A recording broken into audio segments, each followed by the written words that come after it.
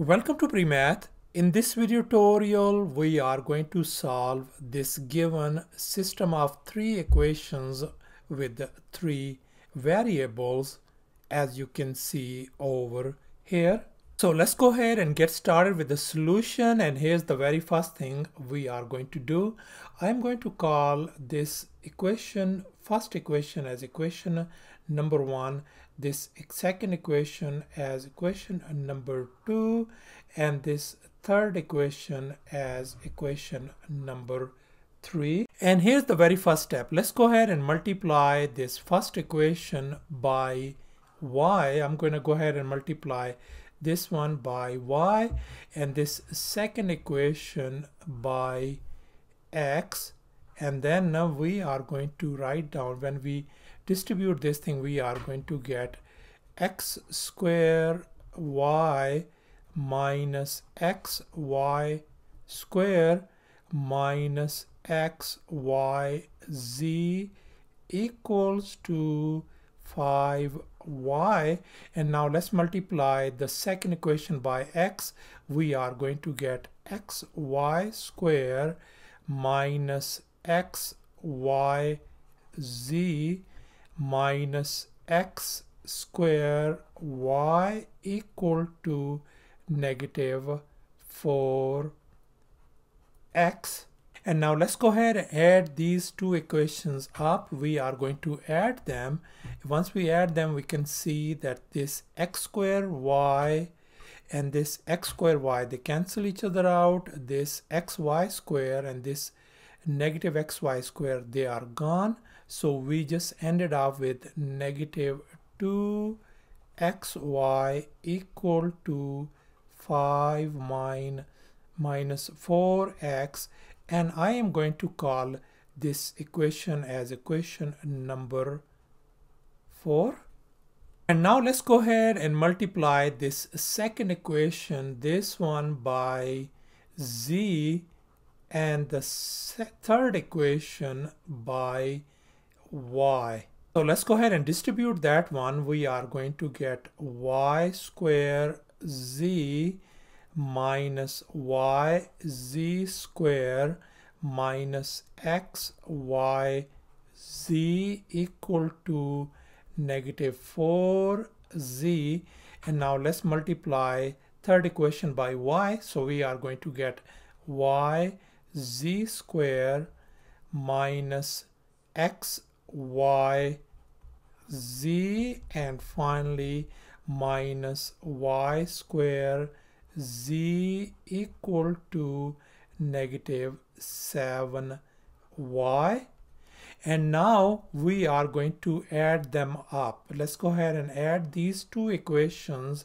And as we can see this y square z and this negative y square z is gone and this negative y z square and this y z square is gone as well. So we ended up with only negative 2x y z equal to negative 7y negative 4 z and I am going to call this as an equation number 5 and now we are going to multiply this equation 1 by z. Let's go ahead and multiply this first equation by z and this third equation by x.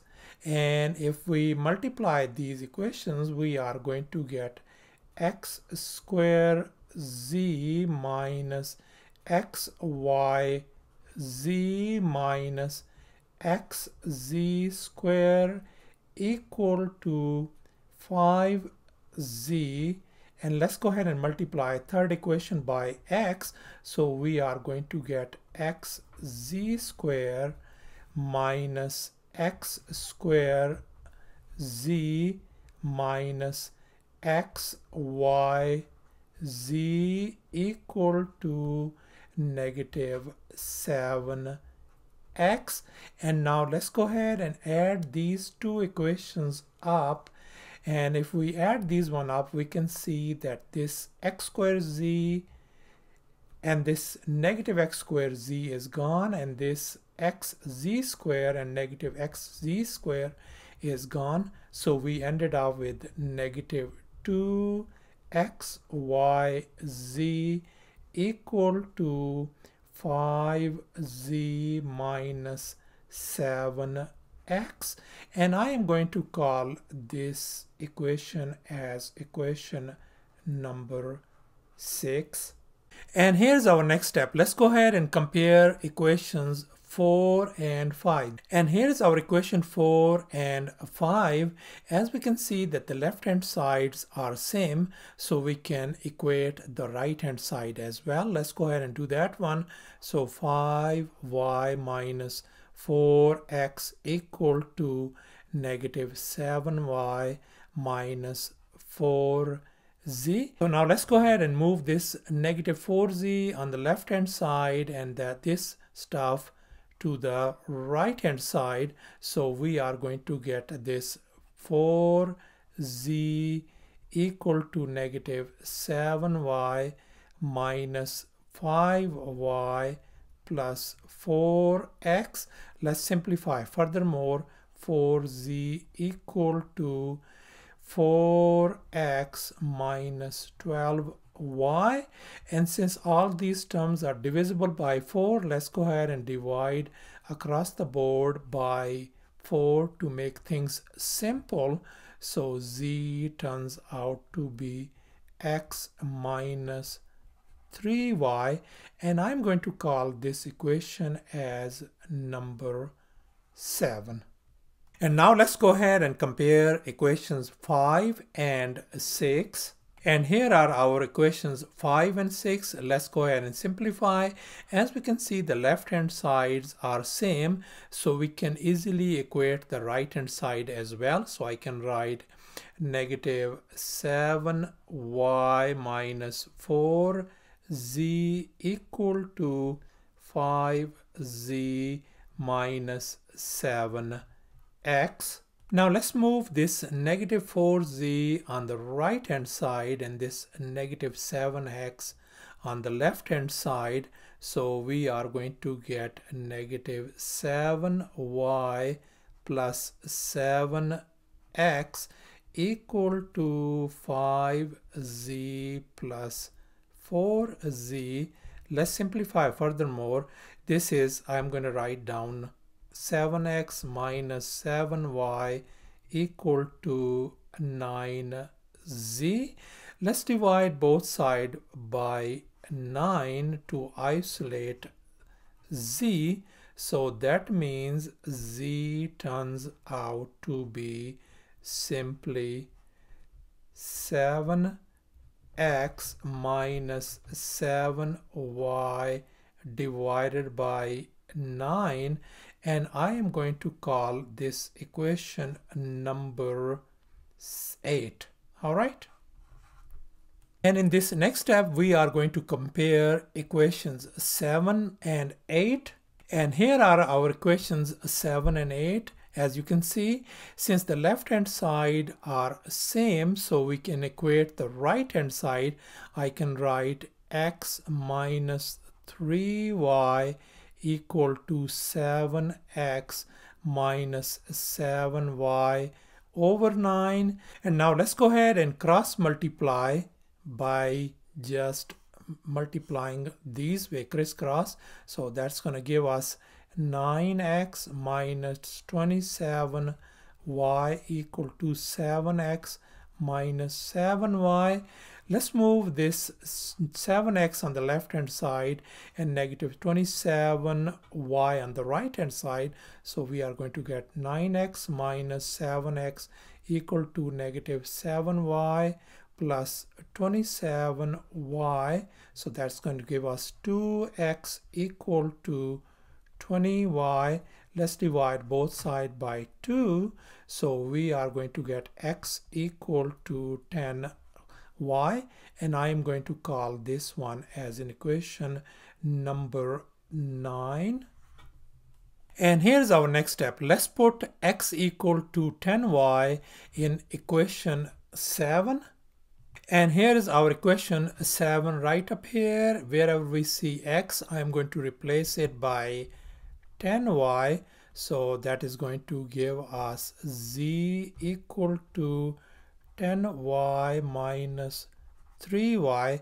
That means z is going to be 7y and I am going to call this equation as number 10. And here's our next step. Let's put x equal to 10y and z equal to 7y in equation 1. And here's our equation 1. As you can see, let's go ahead and fill in the blanks. So x is being replaced by 10y, then it becomes square minus 10y times y minus x is once again 10y times 7y equal to 5. Let's simplify the left hand side. 100y square minus 10y square minus 70y square equal to 5.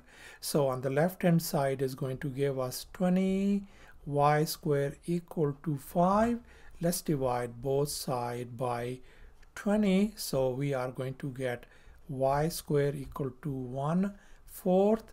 Let's take the square root on both sides to undo this square. So we got y equal to positive or negative 1 over 2.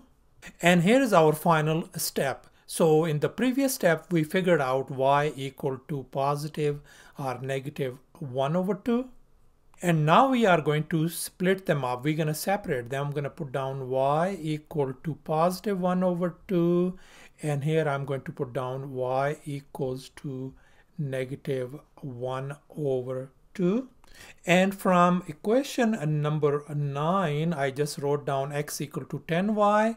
So let's go ahead and fill in the blanks. So x is going to be 10 times 1 over 2. That means our x value is going to be 5 and now let's recall z equal to 7y from equation 10 so let's go ahead and fill in the blanks so z equal to 7 times y is 1 over 2 that means z value turns out to be 7 over 2 now let's go ahead and repeat the same process for this y equal to negative 1 over 2 value and we know x equal to 10y so x is going to become 10 times negative 1 over 2 means x is going to be negative 5 value. Now we know that z equal to 7y. Let's go ahead and fill in the blank so z equal to 7 times negative 1 over 2 so z turns out to be negative 7 over 2 value. So thus our x value turns out to be 5 y is 1 over 2 and z is 7 over 2 on the left hand side. So I can write it like this way. 5 1 over 2 and 7 over 2 and on this side on the right hand side x is negative 5 negative 1 over 2 y and z is negative 7 over 2 so this could be written as negative 5 negative 1 over 2 and negative 7 over 2 and thus this is our solution set as you can see and that's our final answer Thanks for watching and please don't forget to subscribe to my channel for more exciting videos. Bye.